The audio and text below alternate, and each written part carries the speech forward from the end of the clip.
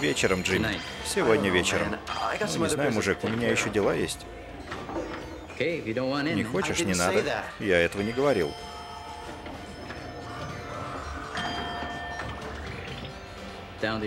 До последнего мяча, Джимми. У меня сегодня другие планы, вот и все. Слушай, малыш, либо ты в деле, либо нет. Я в деле.